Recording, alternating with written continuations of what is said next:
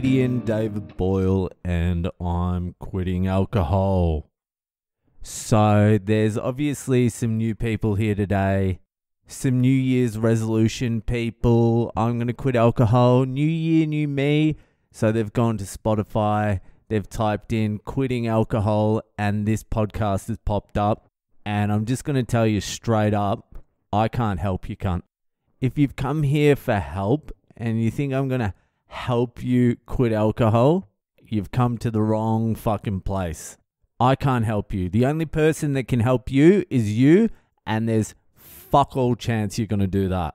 No, this is not the fucking positive start to 2023 that I wanted to make. But it's the truth. I can't help you. I wish I could, but this podcast has probably helped about four people quit drinking for about two weeks in total all up, this podcast probably has about two weeks of total abstinence to its name. If I could help you, I would, but the fact of the matter is, I've learned over the last almost four years that no one can fucking help anyone. You've got to help yourself. That's it. The best this podcast can offer you, the best I can offer you, is a feeling that you're not alone, that you're not in this by yourself, and you're not alone there's me, and I'm pretty sure if you're here, we've followed a somewhat similar path. And other than me, there's thousands of people listening that I know are also like me. So that's about it. That is a nice thing, isn't it? To know you're not alone, at least. That's nice. But fucking, can I help you? I don't even know if I can point you in the right direction. The only fucking direction I can really give you is go back to the start of this podcast, go back to day one, start listening from there, and hear what a miserable cunt I was for maybe like the first 300 days, and then come back to the present day. Well, not this episode. I don't sound very fucking upbeat in this episode. I mean, go like a couple episodes back, like maybe like December 30. Not today. Don't compare day one to today because that might sound pretty similar. But if you go back to day one and listen, you can see the path that I've taken. You can see what it looks like or listen to what it looks like. Does that even make sense? But you can listen in and see what it's like to have quit alcohol for good every single day. You can listen to every single fucking day of someone who's quit alcohol. That's something, isn't it? And quickly it will become clear that it's not a linear path. There's progression, there's regression, it's all over the fucking shop. Like, I don't even think there's value in giving advice. I'm not even too sure it fucking gets through.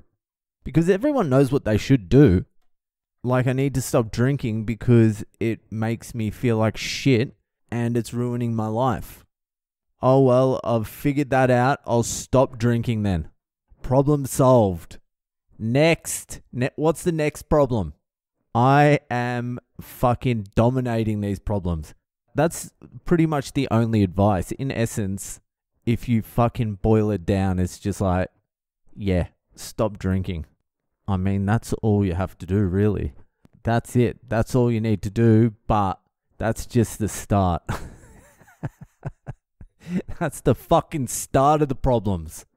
But I'll tell you this I'll give you some fucking hope.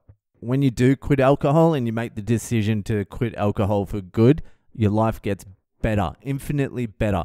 You have to work at it constantly, though. It's not just fucking I quit alcohol and then my life automatically gets better. No, it's like the work starts when you quit alcohol. But all those things that you think alcohol is preventing you from doing, it is actually preventing you from doing all those things. I'm proof of that. And I'm a lazy, fucking unintelligent piece of shit. And I've been able to do some amazing things that were never going to be possible while I was drinking over the last almost four years. So if you got the balls or the flange to do it, everything does get fucking better, but it's hard work and I can't help you. No one can help you.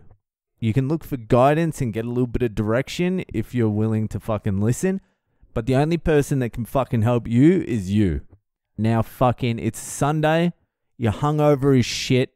Eat some fatty fucking shit food. Watch some shit TV. And get into the year tomorrow. Don't make any big moves today. Anyway, welcome to the podcast. welcome.